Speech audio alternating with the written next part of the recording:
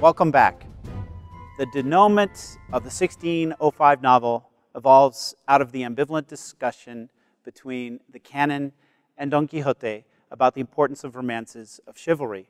In closing, Cervantes offers us three final stories, each with allegorical connotations. The adventure of the Knight of the Lake, narrated by Don Quixote, the story of Leandra and Vicente de la Roca, told by the goatherd Eugenio, and the battle between Don Quixote and the penitents carrying a statue of the Virgin Mary.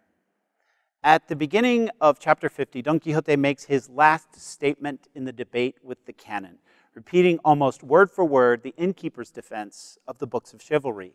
These books, which are printed at the license of kings and the approval of those who sanction them, and which are read with general amusement and celebrated by the old and the young, by the poor and the rich, by the learned and the ignorant, by commoners and nobles, could they all be lies?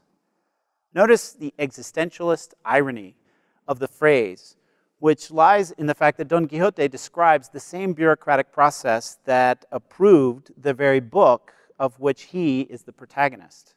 Moreover, the objections of our hidalgo and the innkeeper undermine the censorship endorsed by the priest and the canon because they reveal that government regulators are inevitably biased.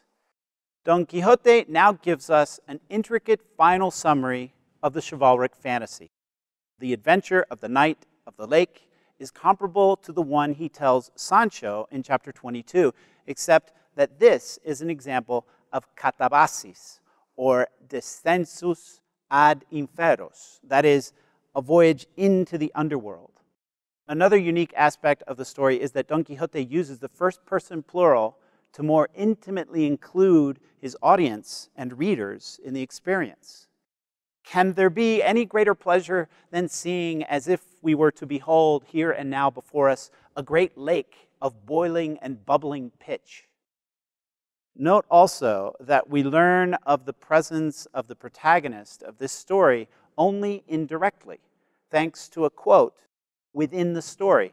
From the middle of the lake, there comes a sad voice, which says, You, knight, whosoever you are, who gazes upon this fearful lake, if you want to gain the good that lies concealed below these black waters, unveil the valor of your triumphant breast and hurl yourself into the middle of this black and burning liquid.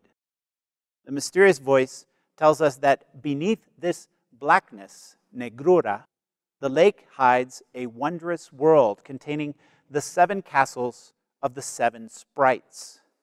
This reads like an allegorical version of a voyage to Micomicon, the African kingdom that requires Don Quixote's presence to save its princess.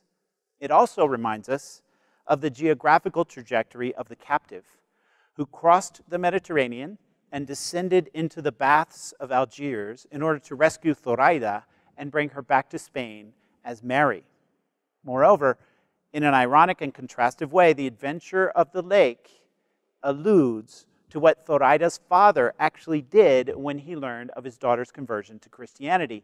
The knight has scarcely finished hearing the fearful voice when, without making any mental calculations, without taking any account of the risk to himself, without even shedding the weight of his tremendous armor. Entrusting himself to God and to his beloved, he throws himself straight into the boiling lake.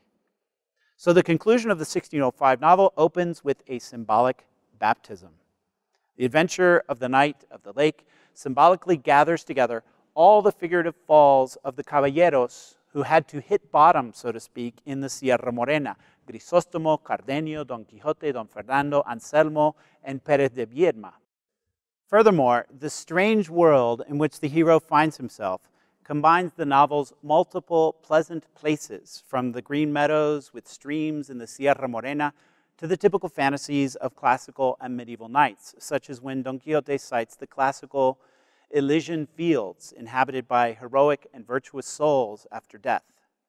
There are even here allusions to the Islamic paradise. Don Quixote repeats that the knight is welcomed by a great number of maidens, and we note a deference to Islam in Don Quixote's typical terminological vacillations for their palace. yonder there suddenly appears an impregnable castillo or a sumptuous alcázar. The description of the paradise that lies within the lake is also a kind of artistic manifesto, a remarkable vision of the Baroque aesthetic.